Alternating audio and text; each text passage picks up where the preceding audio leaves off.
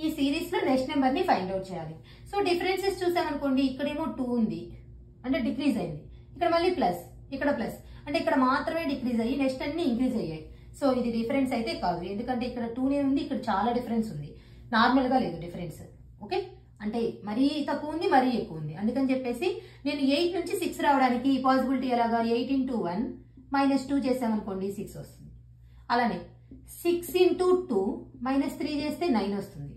Nine నుంచి twenty three రావడానికి. Nine into three minus four చేస్తే ట్వంటీ త్రీ వస్తుంది.